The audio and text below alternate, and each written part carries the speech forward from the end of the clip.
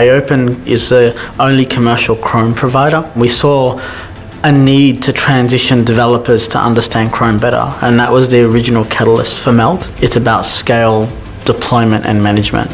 Uh, they don't need to consider any of that anymore.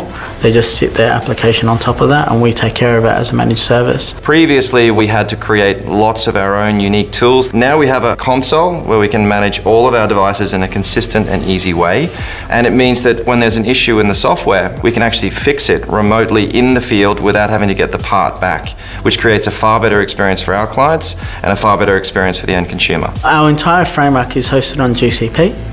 Uh, GCP allows us to have a lot of flexibility in in the APIs, in the structure, in the control of those devices. Google Cloud Platform is the main brand in that under Google Cloud, and that allows customers to leverage Google's globally distributed uh, infrastructure system uh, to build plat platforms and solutions uh, at scale without actually having to invest in any infrastructure. Then we have Chrome OS that's running on managed devices similar to what AOpen has made available to Nightlife. When we worked with Nightlife for the whole DRM management piece, we used a combination of GCP tools, Chrome tools, and the Meld layer to secure that.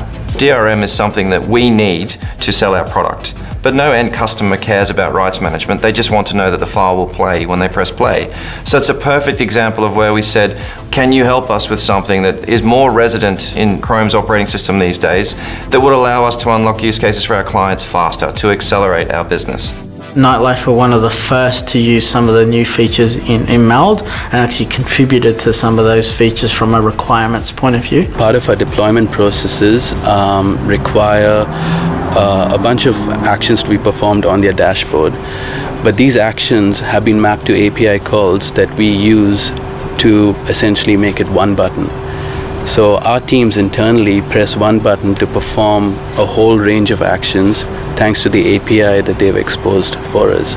So by working with Meld, we're able to get the best efficiency out of our team and lean on experts who actually know the hardware and then know the operating system that lies beneath far better than we ever will.